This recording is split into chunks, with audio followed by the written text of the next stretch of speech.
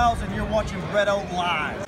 What is going on, guys? BrettO Live back with another video, and this is the Week in Review 5. We are already on episode 5, and again, this is the Week in Review when I go over Raw and SmackDown, and if there's a pay-per-view on Sunday, in a setup style. So without further ado, we're to get into Raw and then we will get into SmackDown. I will rate the shows at the end like I always do. So without further ado, let's get into it. All right, over here, starting off, we have Naomi celebrating on the top rope because she just beat Billie Kay of the Iconics in a very quick match. Uh, I was actually really not expecting. I thought Billie Kay and Peyton Royce were going to cheat to win, but Naomi actually picked up the victory, which is pretty interesting there.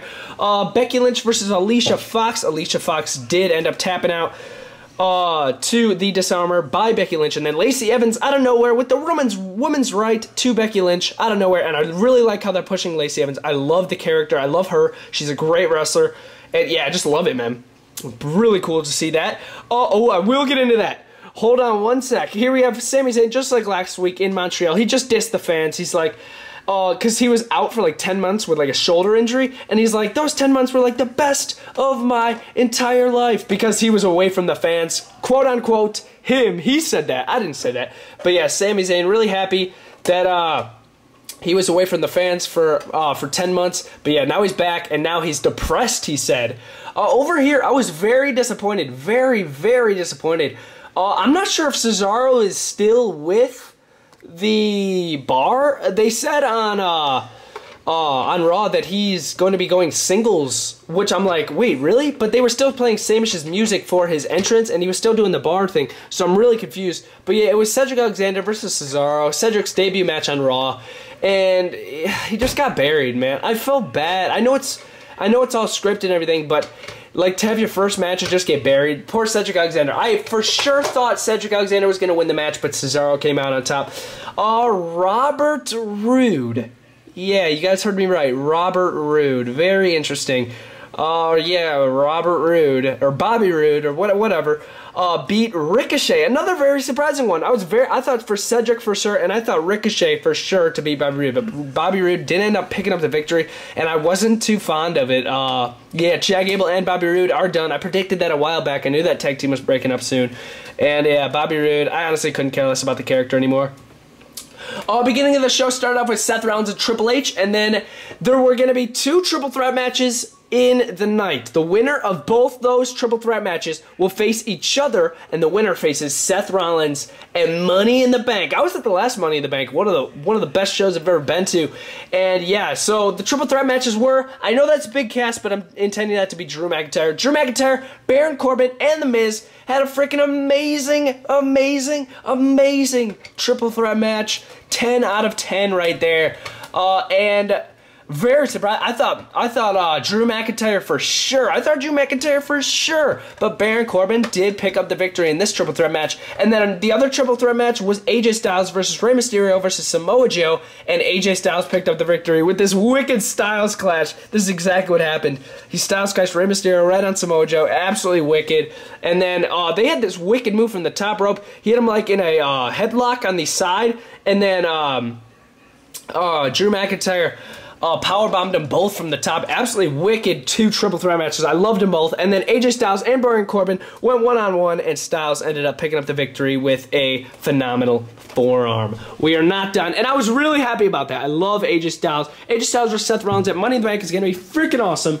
Moving backstage now. Uh, there was some little things back here. Uh, Kurt Hawkins and Zack Ryder were interviewed after the match uh, that they watched backstage.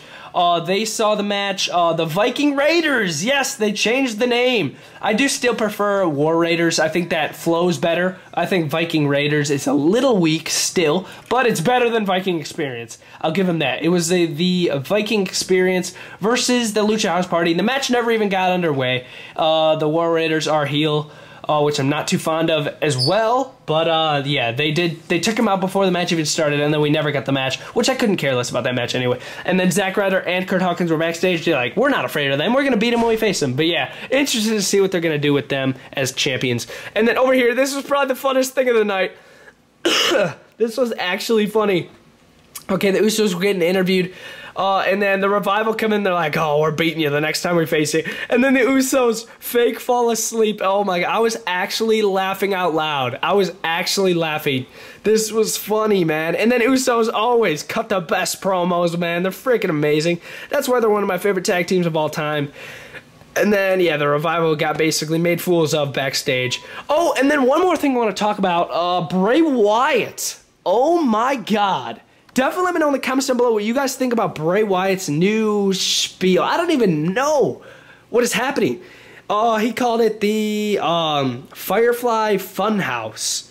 And it was him acting like a lunatic. Uh, well, not really a lunatic. I don't even know. I, I was so confused. But at the same time, I sort of liked it. But at the same time, I'm like, oh, but what about the old Bray Wyatt? And the same time, I'm like, what is happening? Uh, check out the video on WWE uh, YouTube channel. I can't show it here, otherwise I get copyright. But yeah, check it out on the WWE YouTube channel. It was like insane. Uh, yeah, I, I, I don't know what to. I don't even know what to say about it. But definitely let me know in the comments down below what you guys think is going to happen with that. And now we'll get in to the blue brand. Okay, guys, now we are going to be moving into SmackDown Live. An absolutely amazing show. Very surprising things happened in the show. As you guys saw in the thumbnail, Kevin Owens, we're going to get into it. So let's start over here. Okay, first up we have Asuka. I didn't really have all the characters for this setup, so I just set up Asuka so that it remind me to talk about it. But yes, it was Kairi Sane versus uh, Billie Kay or Peyton Royce, whatever iconic it was. But uh, Kairi Sane did up, end up winning the match with an insane elbow from the top rope. And then uh, Mandy Rose and Sonya Deville come out, and then they just stood up on the uh, stage just staring at them. But yeah, pretty interesting, pretty interesting to see what's going on there. Of course, Paige bringing up Asuka and Kairi Sane as a tag team. Pretty interesting to see what they're going to be doing with that. But yeah, that's what happened there. Uh, moving uh, over here there was supposed to be a match. It was supposed to be Chad Gable versus Jinder Mahal. And then it ended up in an all out onslaught. Lars Sullivan come out again. He took out Chad Gable and the Singh brothers. Of course, the Singh brothers are totally beat up toys. Uh, and Jinder Mahal ended up escaping.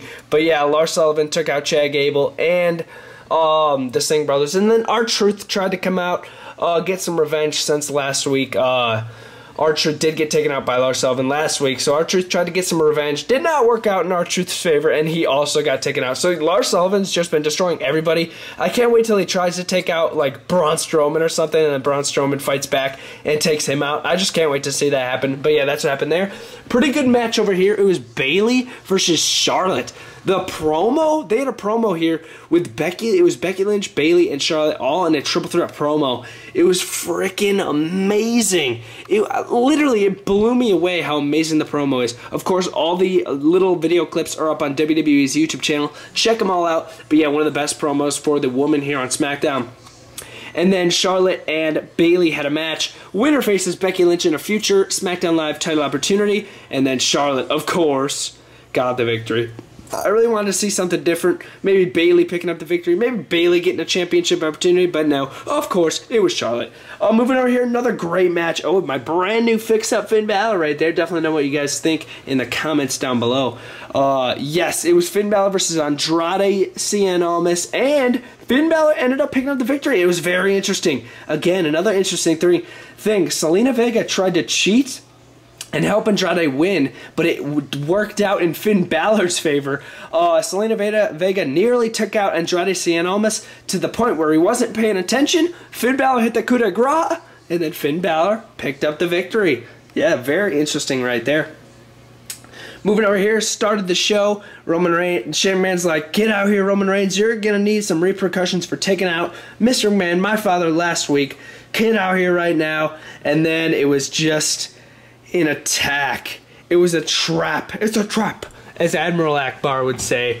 But yes, it was a trap. Shane McMahon and Elias took out Roman Reigns in the ring. So I'm, I'm interested to see uh, what they're going to do in the future. I know it's Elias versus Roman Reigns at Money in the Bank. I think Roman Reigns should be in the Money in the Bank match, but whatever. Uh, they're still uh, waiting. I'm still waiting on uh, uh, what WWE is going to announce uh, for who is going to be in the Money in the Bank matches. Really interested to see what's going to happen there. Definitely me know what your predictions are in the comments down below for who you think is going to be in the Money in the Bank match.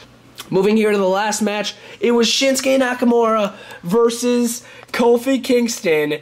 The match never finished. Rusev interfered before Kofi Kingston could get the pin, and then I called it 10 seconds before it happened. The big O. Kevin Owens. I knew it. Kevin Owens cannot be a face. He cannot be a good guy. I knew this was going to happen. He took out Kofi Kingston with a super kick, and then he assaulted Xavier Woods by pop-up power bombing him on the freaking apron. I knew Kevin Owens was going to turn heel. I knew this couldn't work out. It was too cringy.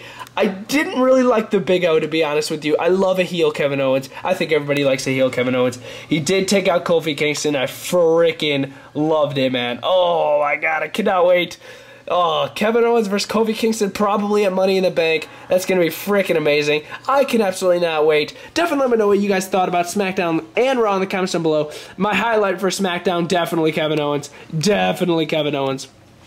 Uh, if I were to rate both shows this week, Raw I would give a solid 8 out of 10. Thought uh, I was really disappointed with the tag team match with the Viking Raiders and uh, Robert Roode, whatever that garbage was, and Cedric Alexander losing, and Ricochet losing, whatever, man. SmackDown, absolutely amazing show, amazing matches. Finn Balor, Charlotte, and Bayley was absolutely amazing. Asuka and Kairi Sane, nothing really much there. And then Kevin Owens turning on Kofi Kingston of the New Day. Definitely let me know what you guys are going to rate Raw and SmackDown in the comments down below, and I'll see you next time. For live. Out.